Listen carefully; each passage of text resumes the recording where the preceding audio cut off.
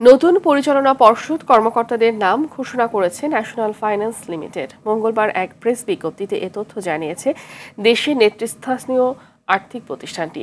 পর্ষদের চেয়ারম্যান হিসেবে ফাহিমা মান্নান ও ভাইস চেয়ারম্যান হিসেবে আরিফা কবিরকে নিয়োগ দেওয়া হয়েছে। এছাড়া আবু শামসুল কবির ও রিদওয়ান জহির খানকে নতুন বোর্ড ডিরেক্টর হিসেবে নিয়োগ দেওয়া হয়। ন্যাশনাল ফাইন্যান্স লিমিটেডের পক্ষ থেকে জানা গেছে, দেশের আর্থিক খাতে নতুন মাইল ফলক অর্জনের চেষ্টা চালিয়ে যাচ্ছে প্রতিষ্ঠানটি।